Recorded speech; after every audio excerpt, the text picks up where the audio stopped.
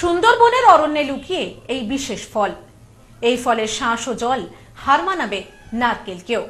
এটি এলাকার অর্থকরী সম্পদ, দাবি স্থানীয়দের। নলেন গুড় খাননি, এমন মানুষ খুঁজে পাওয়া মুশকিল। কিন্তু গোলপাতার ফলের রস খেয়েছেন কখনো? সুন্দরবনের অরণ্যে লুকিয়ে আছে পর্যটকদের অজানা এই সুস্বাদু ফল। জানেন কি, গোলপাতার এই ফলের স্বাদ? নারকেলকে হার মানাবে এর জল আর শ্বাস। গোলপাতার ফল অত্যন্ত সুস্বাদু। এই ফলের রস খেজুরের রসের গুণগত মানের থেকে অনেকটাই বেশি। এটি সুন্দরবনের একটি অতি মূল্যবান প্রাকৃতিক অর্থকারী সম্পদও বটে। শীত মানেই জমিয়ে পিঠে পুলি খাওয়ার সময়। আর পিঠে পুলি মানেই নলেন গুড় না হলে এর স্বাদ অসম্পূর্ণ থেকে যায়। তবে এতদিন তো শীতকালে নলেন গুড় বা খেজুরের রস খেয়েছেন। কিন্তু গোলপাতার ফলের রস খেয়েছেন কখনো? শুনে একটু অবাক লাগছে নিশ্চয়ই। আসলে এখনও পর্যন্ত অনেকের কাছে অচেনা এই ফল। সুন্দরবনের অরণ্যে লুকিয়ে আছে পর্যটকদের অজানা এই সুস্বাদু ফল। সুন্দরবনের প্রায় সর্বত্রই গোলপাতা জন্মে থাকে। তবে নদী ও খালের ধারে অধিক পরিমাণে দেখা যায় এই ফল। সুন্দরবনে ছোট বড় মিলে প্রায় সাড়ে চারশোর মতো নদী ও খাল রয়েছে। আর এই গোলপাতা গাছও এইসব নদী, খাল ও চড়াতে বিক্ষিপ্ত রূপে শোভা পায়। সুন্দরবন সংলগ্ন ওর আশেপাশে সকলের কাছে গোলপাতা একটি অতি পরিচিত নাম। দেখতে এটি নারকেলের পাতার সাদৃশ্য। কিন্তু অন্যান্য বিভিন্ন গাছের পাতার থেকে এটা মজবুত। সহজে এটি পছন্দ ধরে না। গোলপাতা সুন্দরবনের একটি সম্ভাবনাময় ম্যানগ্রোভ। এটি সুন্দরবনের একটি অতি মূল্যবান প্রাকৃতিক অর্থকারী সম্পদ। গাছপালা বিলুপ্ত হচ্ছে, তার কারণ অনেকটা মানুষ তো গোলপাতার গাছগুলোকে কেটেও নিচ্ছে। অন্যান্য গাছকে সুদরি গোরান গেওয়া, কেওড়া যা আছে সব কেটেও নিচ্ছে। এর ফলে হচ্ছে কি, সুন্দরবনের যে পরিবেশটা, সেটা বিঘ্নিত হচ্ছে। তার সঙ্গে সঙ্গে এই যে গাছ কীটনাশক প্রয়োগ করছে বিভিন্ন ভেড়িতে, খাঁড়িতে, তার ফলে পাখি থেকে কীট পতঙ্গগুলো মারা যাচ্ছে, পরাগ সংযোগ হচ্ছে না, গাছে ফুল থেকে ফল বীজ উৎপন্ন হচ্ছে না। গোলকা পাতার গাছের গুণগত মান বলতে ওর পাতাগুলো ঘর ছাওয়ার কাজে লাগে মানুষের। দ্বিতীয় কথা, বাঘে, বাঘ হরিণ এদের লুকিয়ে থাকার জন্য কাজ, কারও আত্মরক্ষার জন্য, কারও শিকার ধরা বাঘের শিকার ধরার জন্য, হরিণের আত্মরক্ষার জন্য এগুলো কাজে লাগছে। তারপর কীট পতঙ্গরা ওই সব ফুলের মধু টধু খেয়ে তারা তাদের জীবন নির্বাহ করছে। আর আরেকটা বিষয়, যে এই গাছের যে ফলের যে বীজ, সেটাও অনেক সময় খাদ্য হিসেবেও গৃহীত হয় এবং সেক্ষেত্রেও উপাদেয় বলেই প্রমাণিত। এই সব দিকটা দিয়ে দেখে সুন্দর গাছের যথেষ্ট গুরুত্ব আছে। কি কাজে লাগে এই গোলপাতা? সুন্দরবন বিষয়ে গবেষক অনিবেশ মণ্ডল বলেন, সুন্দরবনের স্বল্প ও মধ্যম লবণাক্ত অঞ্চলে জন্মায় এটি। এর পাতা প্রায় তিন থেকে ন মিটার লম্বা হয়। দেখতে এটি নারকেল পাতার সাদৃশ্য। কিন্তু নারকেল পাতার চেয়ে এটা মজবুত এবং স্বল্প সময় এটি পছন্দ ধরে না। স্থানীয়রা আদিবাসীদের ঘরের চালায় ছাউনি হিসেবে এটি ব্যাপক চাহিদা রয়েছে।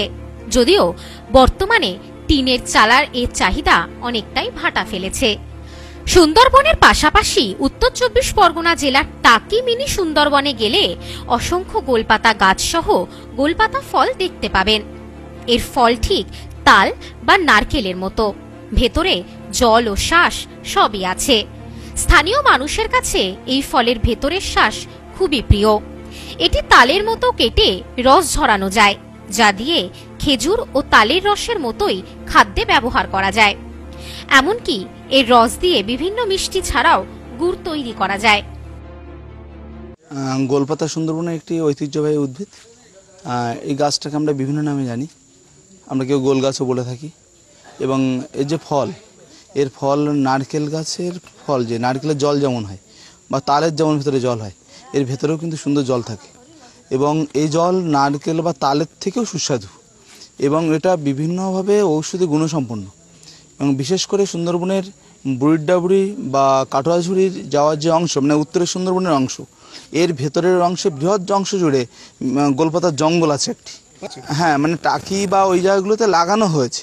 এবং পাশাপাশি সুন্দরবনের বিভিন্ন অংশে এই যেমন এটা সুদর্ণখালী বা সজনেখালী বা দোবাঁকি বা পাখিরালয় যে জায়গাগুলো আমরা দেখলাম সেই জায়গাগুলোতেও কিন্তু গোলপাতা লাগানো হয়েছে। কারণ গোলপাতার জঙ্গলটা একটা সুন্দরবনের ঐতিহ্যপূর্ণ জঙ্গল।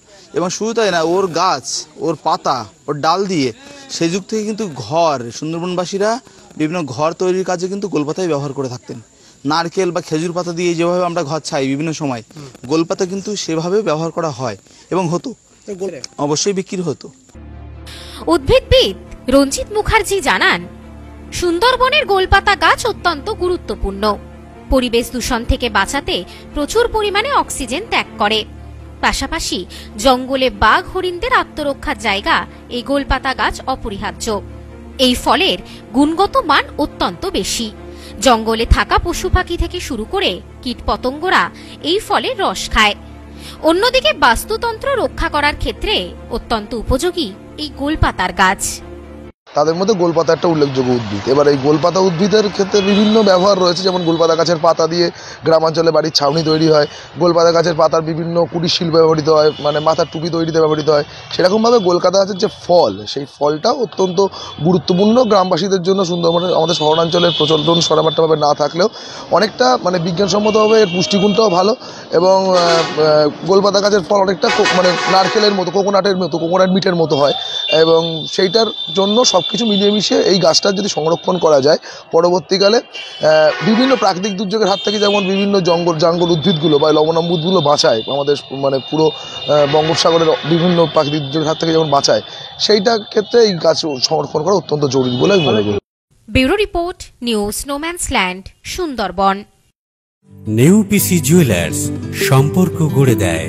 বনগাঁতে আমাদের তিনটি শোরুম প্রতিদিনই খোলা।